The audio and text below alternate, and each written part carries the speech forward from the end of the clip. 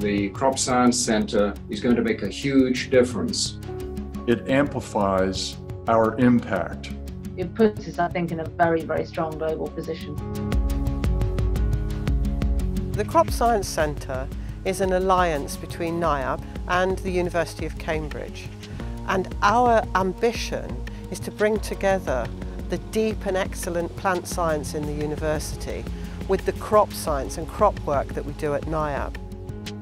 It brings hundreds of years of fundamental plant research at the university alongside 100 years of application in agriculture from NIAB.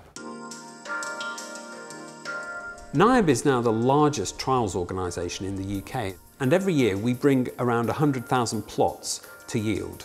We do applied research in the field to provide services and products directly for the industry. We work very closely with large and small companies and also with government. I think it's great to see Cambridge University now working directly in partnership with NIAB.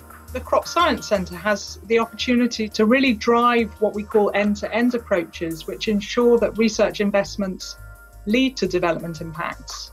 It provides us with the capability to move cutting edge science from the laboratory to the farm.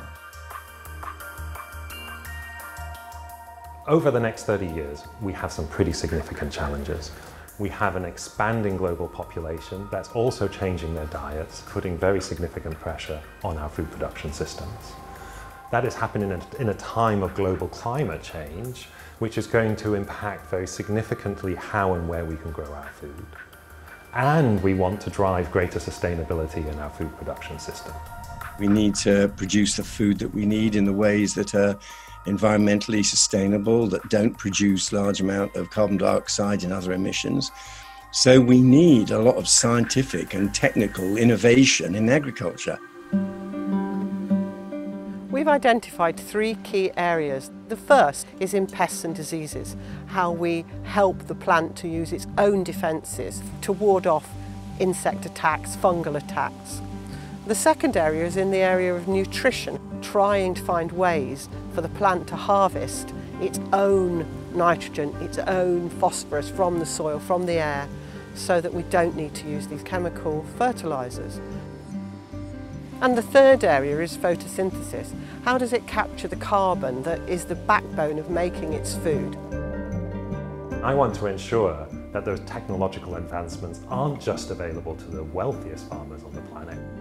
I want the legacy to be smallholder farmers in sub-Saharan Africa growing more food, getting more money for their products and being wealthier as a result of that. And I want to see the whole global agriculture being far more sustainable than it currently is. This centre can really make a difference.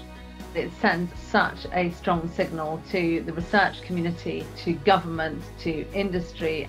It's the missing link in the puzzle of product development. It's really focused on delivering real change that will impact food security, opportunities to mitigate climate change and real change in people's livelihoods. For me, the Crop Science Centre is all about fundamental agricultural transformation, improving food production and getting that to everybody.